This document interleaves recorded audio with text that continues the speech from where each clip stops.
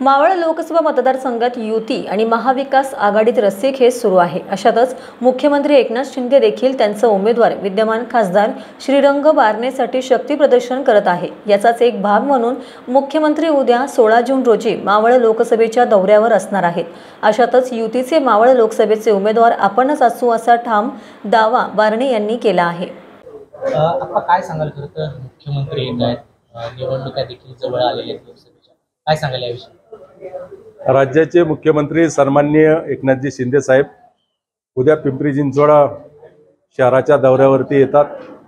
त्यामध्ये शासन आपल्या दारी हा उपक्रम त्याचबरोबर महात्मा बसवेश्वर महाराजांच्या पुतळ्याचं अनावरण असे दोन कार्यक्रम त्यांनी घेतलेले आहेत.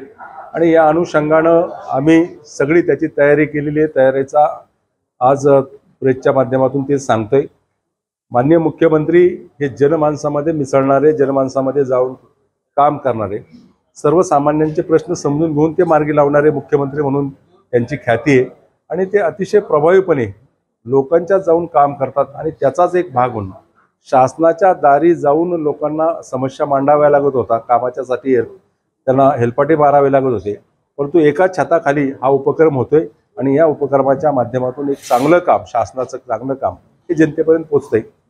लोकसभेसाठी शिंदे आणि फडणवीस सरकारचं काही येणाऱ्या लोकसभेच्या निवडणुकीला दोन हजार चोवीसला भारतीय जनता पक्ष शिवसेना जी शिंदे साहेबांच्या नेतृत्वाखाली बाळासाहेबांचा विचार राज्यभर पोचवते. ती शिवसेना आणि आर पी आय आणि इतर घटक पक्ष या युतीला या निवडणुकीला सामोरं जातात. आणि अनु त्या अनुषंगाने भारतीय जनता पक्ष शिवसेनेचं सगळं ठरलेलं आहे. त्यामुळं आमचं ठरलं आहे त्यामुळं येणाऱ्या निवडणुकीला मावळ लोकसभा मतदारसंघातून श्रीरंग मारणेच उमेदवार राहणार हे आहे